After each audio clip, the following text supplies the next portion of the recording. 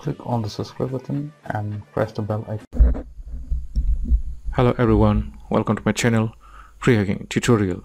In this video, I'm going to show you how to combine text from two or more cells into one cell in Microsoft Excel. So let's begin the tutorial.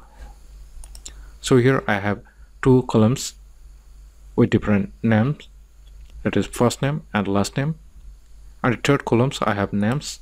So I want these two names to combine and put it into a single cell. So I can do it by copy paste in this column. But by doing copy paste it will take so much time. If you have thousands of data then it will take lots of time. So here in excel you can do it by using formula. So here i'm going to show you how you can combine two or more cell into one single cell. So to do it click on functions here. And as you can see here in the select functions it is showing concatenate. If it doesn't show in your functions then you can type here to get these functions concatenate and click on go and click OK. Select concatenate. Now in the text one. Select the first name. And in the text two select last name. But you can you have noticed that this name is combined or joined without a space between these two words. So to put a space between these two words. Remove text 2 and type here space or put a space here in text 2 and click on text 3 and select last name. And now you can see here now space is added between these two names. Now click ok now to do rest of the names.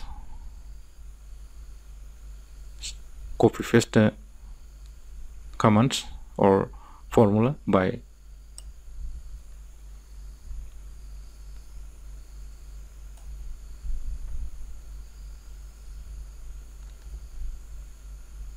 by pulling from the corner like this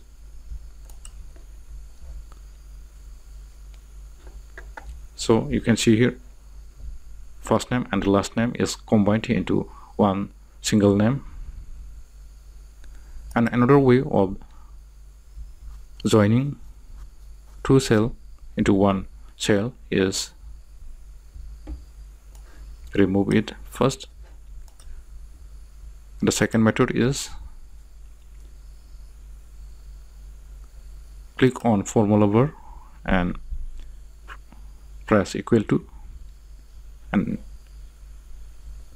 press click on first name and now type and and to put a space between two words press inverted comma and then space press inverted comma and type and and select the last name and press enter. And do the for the rest of the names do it by pulling it from the corner from up to bottom. So you can see here now names has been combined into a single name into single cell. So in this way you can easily join two or more cells into one cell in Microsoft Excel. So if you are finding this video information useful for you click on the like button and subscribe to my channel. And hit the bell icon for the latest updates. And thanks for watching my video